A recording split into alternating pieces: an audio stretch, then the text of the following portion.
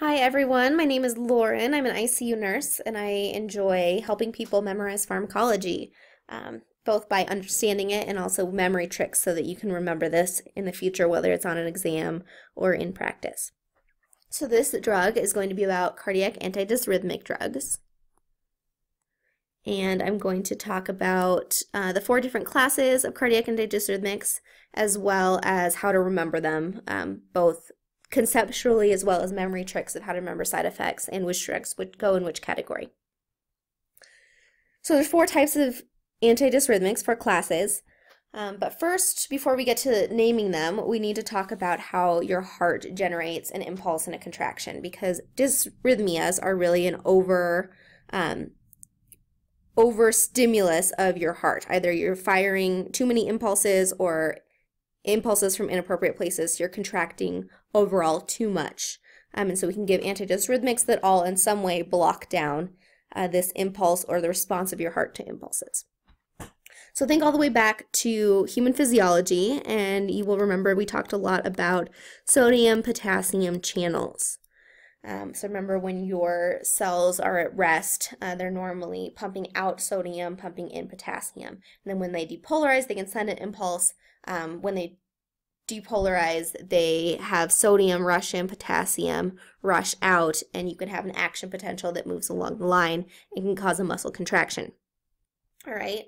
Um, so think about muscles. Once the sodium potassium channel thing does its thing, um, calcium's involved um, in the actual contraction of the muscle. Um, and remember, your heart is a muscle. So calcium is absolutely involved in the contraction of your heart muscle. So sodium, potassium, calcium are all important.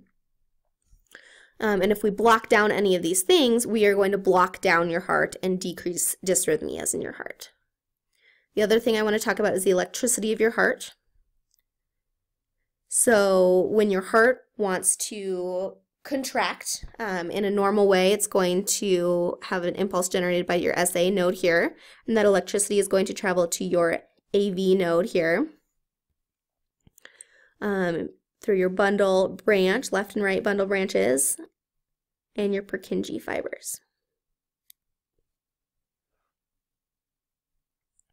So that's a normal contraction um, or normal impulse um, being sent through your heart. So if we block down anything here, especially your SA node or your AV node conduction, we can decrease the amount of firing that your ventricles do, the amount of contractions that your ventricles go through. So we can decrease your dysrhythmias. So that's the concept behind all of this.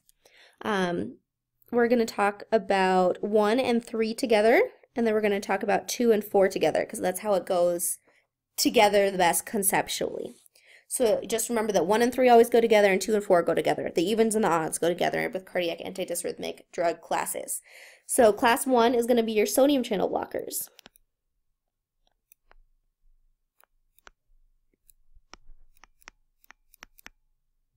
And that makes sense, right? If we block down sodium, which is your sodium potassium channel, is involved in ions moving to cause depolarization. So if we decrease the movement of sodium by blocking sodium channels, we will block down the dysrhythmias that can happen in your heart. So sodium channel blockers. Examples of sodium channel blockers um, are lidocaine, uh, procainamide, also flecainide. So notice that lots of these have cane in them. So you don't have to memorize all of the sodium channel blockers, but if you can remember that sodium channel blockers have cane in them, or at least a lot of them do, then you can recognize a sodium channel blocker if it comes up in practice or on an exam because it has cane in it. So you might recognize lidocaine as being a numbing medication. You might get it at the dentist or for a minor procedure to help numb you. And it works the exact same way peripherally. It's a sodium channel blocker. So think about pain impulses. You have a painful stimuli in your periphery, and the way that that stimuli is transmitted to your brain to tell you're in pain is through neurons. And neurons send signals with sodium potassium channels, right? So we have that um, constant movement of sodium potassium and then when we send a signal they switch the sodium rushes in potassium rushes out and we have an impulse sent so lidocaine works the same way in the periphery as a sodium channel blocker if that helps you remember that um, lidocaine cane sodium channel blocker so one and three go together in my mind because sodium and potassium always go together. Whenever we talk about sodium potassium pumps, sodium potassium channels, we talk about them together. So one and three go together and three is potassium channel blocker.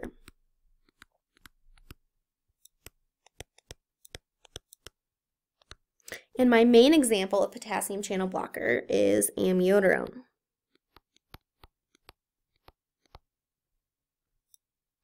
I feel like that's the most commonly used potassium channel blocker.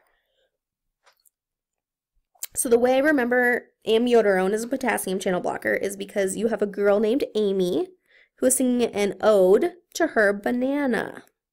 So Amy is singing an ode to her banana. She's in this opera hall singing at the top of her lungs, and she's really a very terrible singer.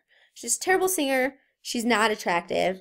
Um, and she causes a lot of side effects, a lot of bad side effects with Amy Odarone, Amy singing her ode to her banana. So the worst side effect here is pulmonary toxicity. So I imagine Amy is just singing at the top of her lungs. She's screaming, she's belting, um, and she's just ruining her lungs because she is singing, screaming so loudly. Your pulmonary toxicity. And Amy is not attractive at all. She's very ugly. And so as the audience, we have phototoxicity. She, we do not want to take pictures of her.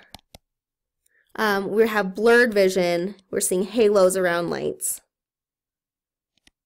because we can't look directly at her.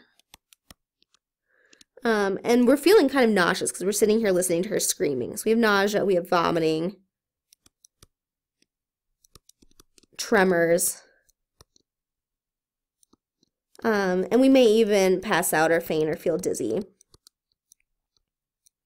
watching her. Um, so the most important one here is pulmonary toxicity. So if you want to pick one to remember, that's the most important one. Um, the most detrimental one. Um, and sometimes people have pulmonary toxicity that's so bad that they need to be put on a ventilator um, and have high oxygen requirements. So that one is very bad. But sort of incorporate it into this Amy singing an ode to her banana, and she's very bad at it and very ugly and seeing very, very terribly. So that is amiodarone. Um, so 1 and 3 go together, sodium potassium channels, and then 2 and 4 go together. So 2 is a beta blocker.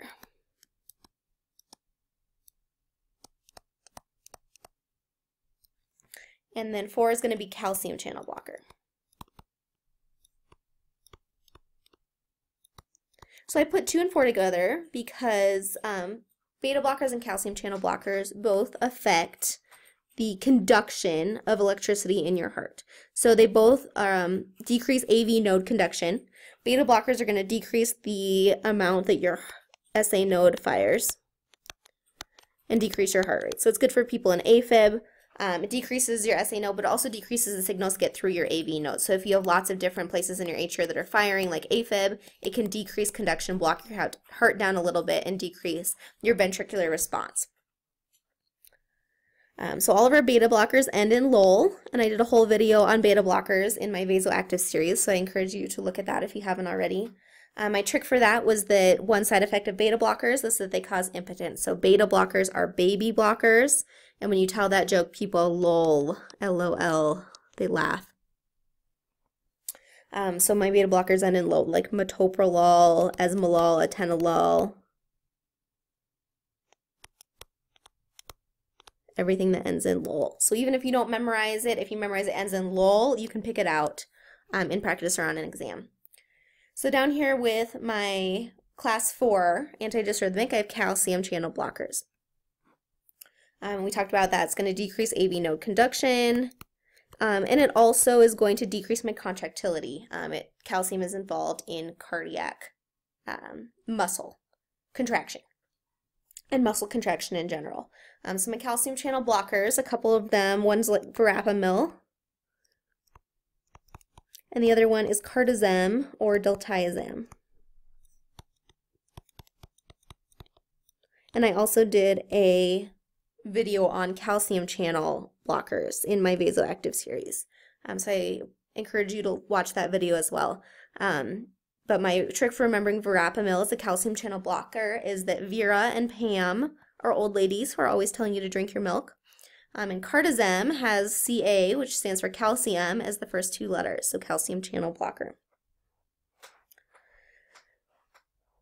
So, um, keeping one and three together and two to four to get two and four together, um, we talk about one and three sodium and potassium channel blockers being for ventricular dysrhythmias.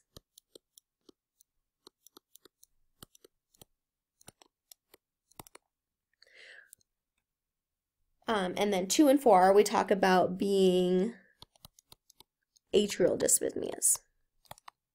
Which makes sense, right? If we're decreasing AV node conduction, we're decreasing the atrial dysrhythmias that can get through to the ventricles. So if you remember what they do, you can remember that they're going to be better for atrial dysrhythmias. One and three are better for ventricular dysrhythmias.